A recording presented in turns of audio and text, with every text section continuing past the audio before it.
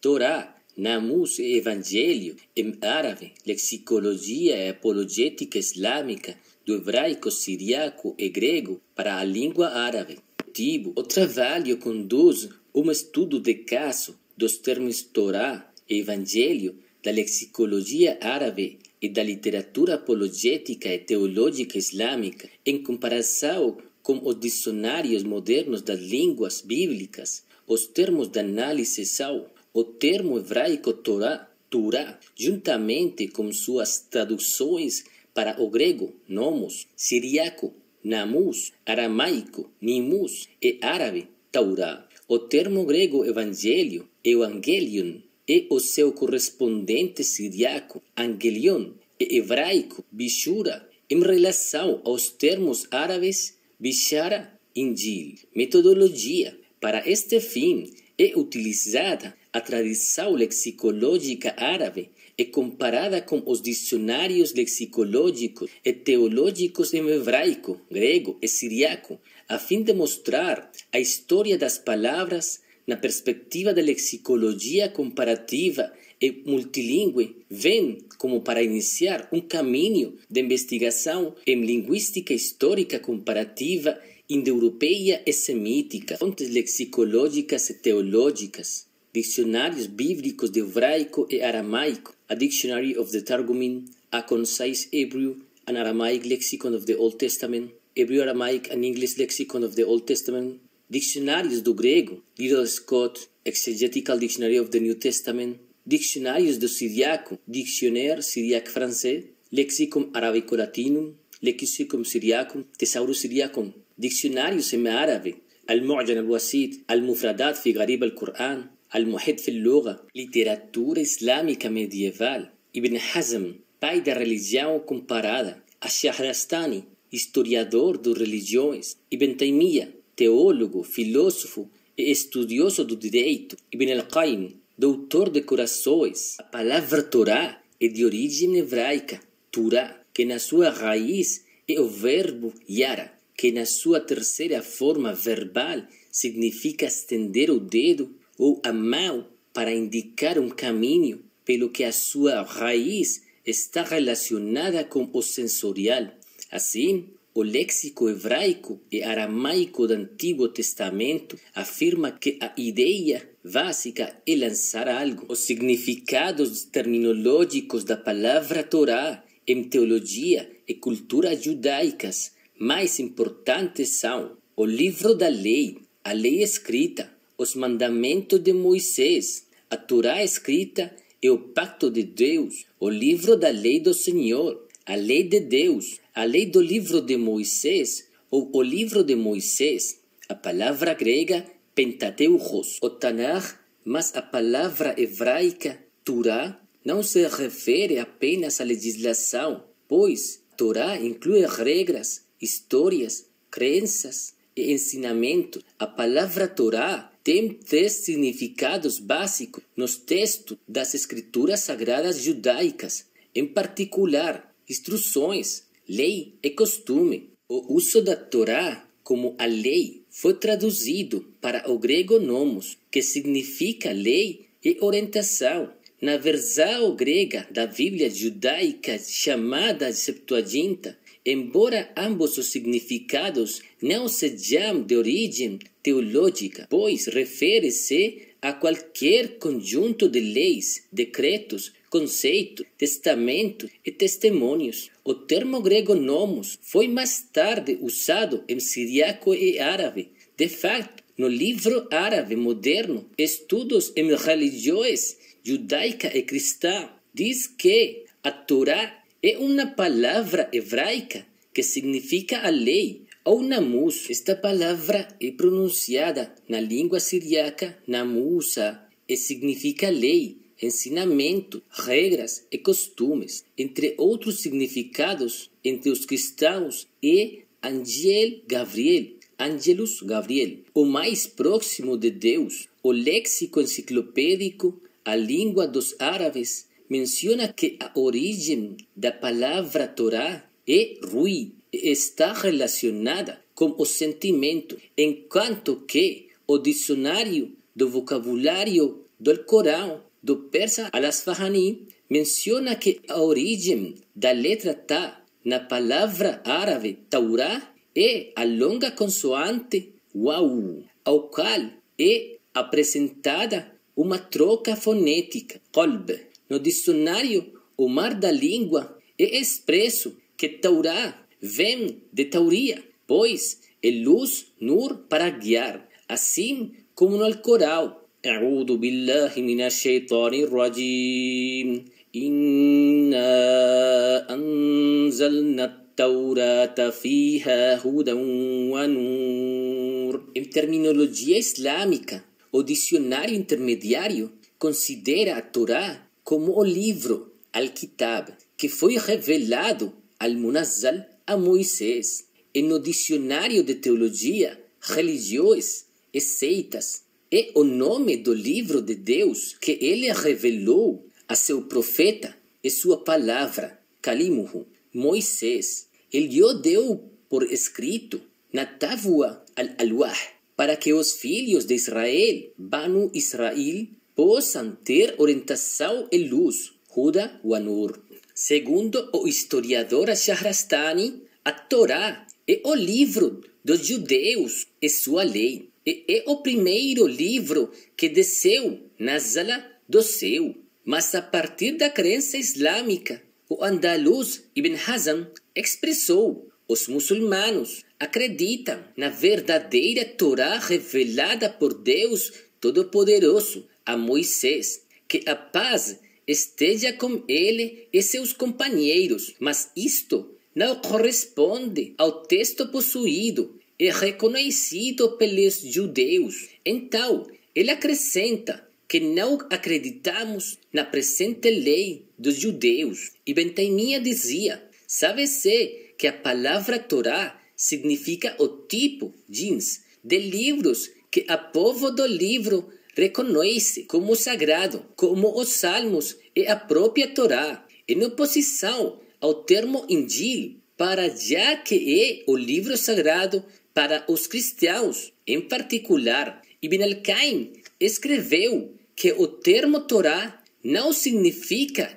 que o significado da Torá se refere apenas ao livro de Moisés, Kitab Musa, mas sim a certos livros sagrados específicos, às vezes, e ao tipo de livros sagrados, às vezes. Termos hebraicos Bishra ou Bishurá correspondem em árabe e al-Bushra e al-Bishara e aparecem seis vezes no Tanakh com significados seculares ou para anunciar boas notícias ou para entregar uma mensagem. Da mesma forma, foi interpretado na tradução aramaica como declar, basta declar uma vitória, como diz o dicionário teológico do Novo Testamento, que significa anunciar uma vitória como um uso comum e o mensageiro de tal vitória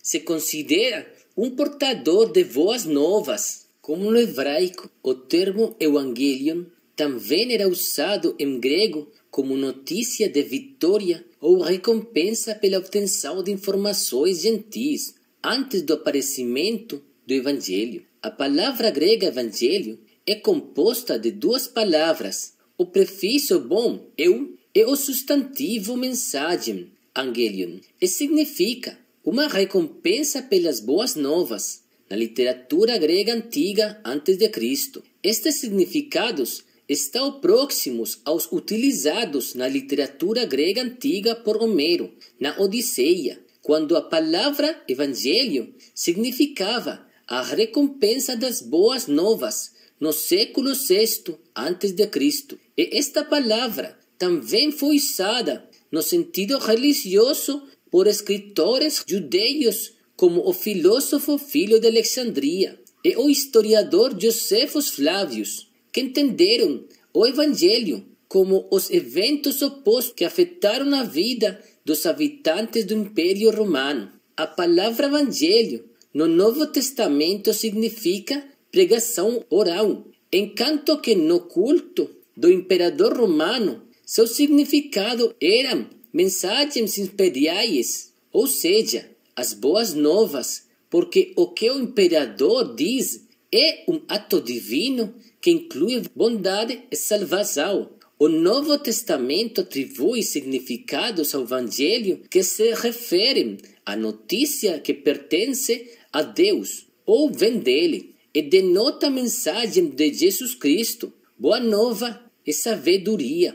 O Novo Testamento menciona o Evangelho em várias expressões compostas, como por exemplo o Evangelho do Rei, Evangelion des Basileias, o Evangelho de Deus, Evangelion do Theu, e o Evangelho do Cristo, Evangelion do Cristo. Tem um claro significado cristão. Na língua siriaca, pronuncia-se Evangelion, tais Evangelion, tais como no grego, e de acordo com o léxico do vocabulário estrangeiro do Corão, tal era o termo entre os cristãos com os quais Muhammad teve contato. No lexicon siriacum está expresso que namus é a lei, lex. De acordo com o tesaurus siriacus, significa lei, rituais e costumes. Lex, ritus, mos. E de acordo com o lexicon de Syriac New Testament, Peshitta, significa a lei de Moisés. Também tem o significado de regra e hábito, assim como no lexicum siriacum, seus significados são costume, lei, obediência, obrigação e Torá. Todos estes significados siriacos incluem aqueles mencionados em hebraico, em hebraico bíblico e grego não religiosos. No Evangelho de Lucas, lei, nomon, legem, namusa. Ibn Mandur, no dicionário enciclopédico, a língua dos árabes, mencionou que o Injil é o nome do livro, Kitab, de Deus revelado, revelado a Jesus. Que a paz esteja com ele. Ibn Faris, em seu dicionário etimológico, mencionou que ele tem duas origens. Uma indica o arremesso de algo e a outra é a capacidade da coisa. Segundo o léxico árabe moderno,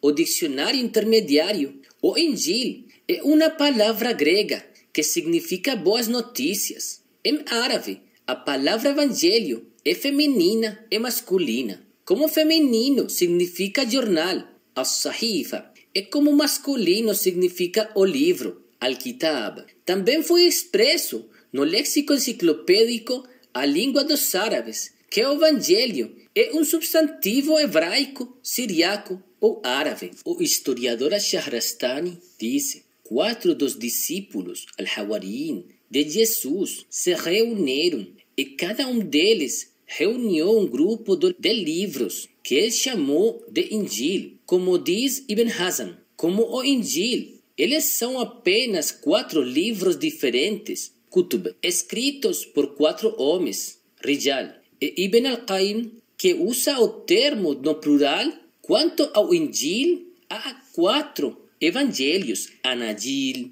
a palavra Torá é mencionada 18 vezes no Sagrado Alcorão e a palavra Evangelho é mencionada 12 vezes nela. A palavra Torá é mencionada 18 vezes no Sagrado Alcorão e a palavra Evangelho é mencionada 12 vezes nela. Conclusões: campos semânticos dos termos Torá e Evangelho nas línguas semíticas e indo-europeias analisadas são conglomerados nas últimas utilizações do siriaco. Os significados terminológicos e os usos teológicos e apologéticos diferem com o uso de cada termo na literatura não religiosa e, portanto, não são calques linguísticos nos textos sagrados de cada tradição, mas no caso do árabe, são conhecidos com novos significados devido a adaptações teológicas ou necessidades apologéticas entre os muçulmanos. Portanto, no nível semântico, o novo significado dos termos Torá